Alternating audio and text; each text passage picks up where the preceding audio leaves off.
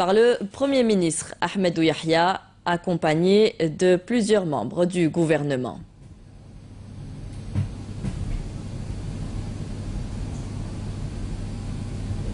Angela Merkel effectue une visite officielle en Algérie à l'invitation du président de la République, Abdelaziz Bouteflika. Cette rencontre au sommet constituera une opportunité nouvelle pour les deux parties pour poursuivre au plus haut niveau des deux États la concertation et la réflexion engagée de longue date sur la promotion et l'affinement du dialogue politique bilatéral, ainsi que la mise en perspective d'un partenariat bilatéral économique et commercial important.